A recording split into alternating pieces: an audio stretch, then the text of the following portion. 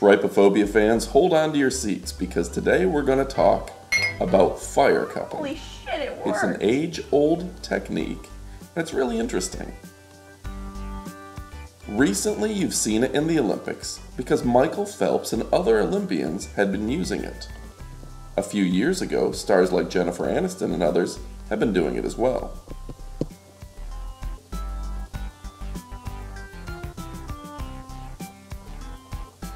So the basic concept is that heat creates suction.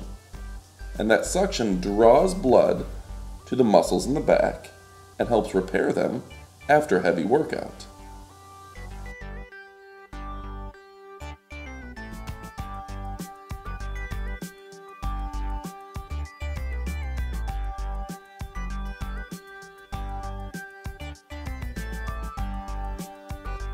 So the real question is, do you think there's any merit to this technique? Is it just a local fad?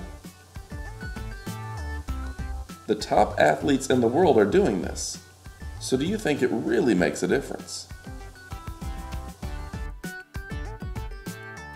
So go ahead and leave your comments below.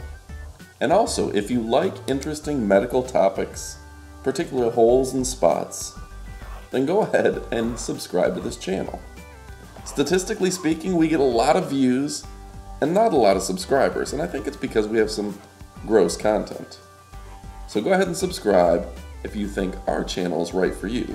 We've posted a new video every week for over a year now. Thanks for watching, and adios amigos.